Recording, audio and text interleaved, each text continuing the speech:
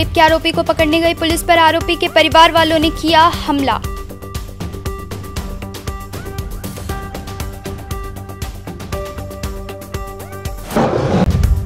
मेरठ में बीच बाज़ार mobile phone छीनकर भागने वाले युवक की महिला ने की जमकर पिटाई।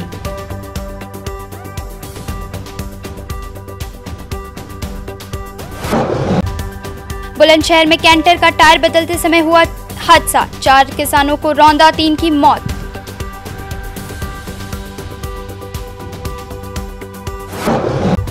कानपुर में उषा देवी की मौत के बाद बेटों ने पुलिस पर लगाए गंभीर आरोप। बेटों का कहना था कि अगर पुलिस सही समय पर कार्रवाई करती तो माँ बच सकती थी।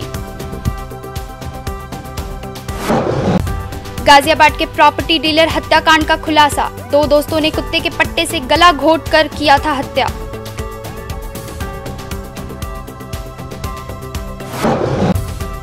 हाइब्रिड इलेक्ट्रिक कार का रोड टैक्स वापस करने का दिया आदेश। हाईकोर्ट ने कहा, हाइब्रिड गाड़ी है तो फिर वापस करे पैसे।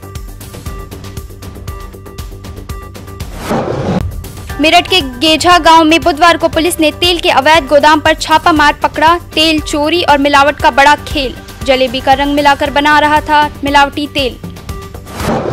बुलंदशहर में राधा स्वामी सत्संग ब्यास के पैंसठ साल के सेवेदार ने दो छात्राओं से किया रेप। नशीली दवाएँ खिलाकर रेप करता था सेवेदार। कक्षा छह और आठ की छात्रा थी बच्चिया।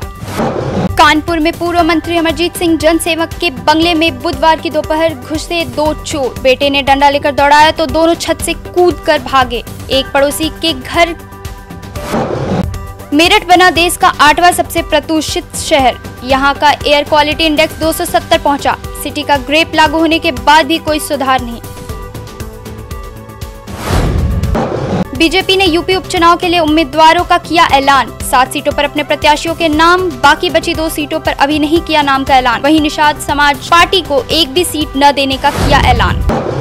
उत्तर प्रदेश में लगातार बिगड़ती कानून व्यवस्था की तुरपाई करने के लिए मुख्यमंत्री योगी आदित्यनाथ आज शाम सात बजे सभी अधिकारियों के साथ करेंगे बैठक। दाना तूफ़ान ने लगाया रेलगाड़ी पर ब्रेक। कई ट्रेनें हुई रद्द। पूर्व तटीय रेलवे जोन से चलने वाली ट्रेनों की रेलवे ने किया निरस्त। 22 साल के लड़के ने खुद के अपहरण की रची साजिश। माँ को कॉल करवाकर मांगी दो लाख रुपए की फिरौती, जिसके बाद परिजनों ने पुलिस से की मामले की शिकायत। कैंट थाने के गैंगस्टर एक्ट के मामले में पूर्व सांसद धनंजय सिंह नदेसर गोलीकांड में बतौर गवाह हुए पेश।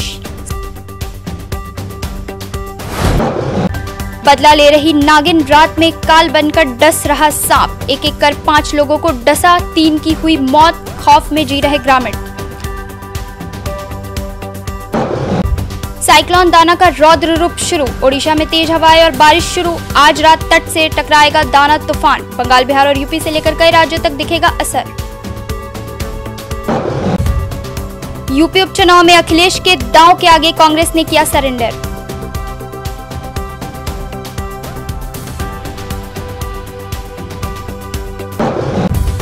मेरठ के जिस होटल में चल रहा था कसीनो वहाँ आने वाले रईस जादव पर एक्शन की तैयारी। गोवा गुरुग्राम से बताया जा रहा है कनेक्शन गैंग बनाकर निकले। बुलेट दौड़ाते हुए सड़क पर फोड़े बम। दहशत में आ गए लोग।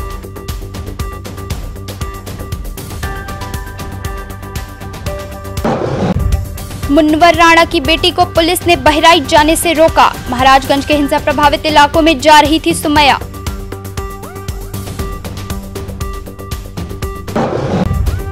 कानपुर में सस्पेंड हुए दरोगा की असलियत खोलने अब सामने आई पत्नी।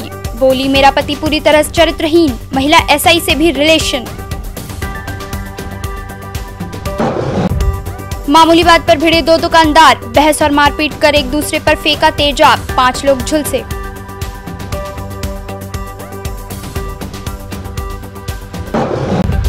प्रयागराज महाकुंभ में टेंट सिटी की बुकिंग के नाम पर ठगी। आठ फर्जी वेबसाइटों के खिलाफ होगा एक्शन।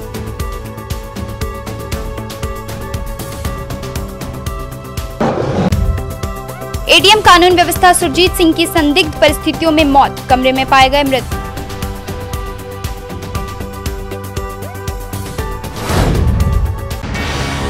ये है इंडिया फ़र्स्ट कम्युनिकेशन और आप देख रहे हैं पब्लिक फ़र्स्ट, सर्वदा भारतीय।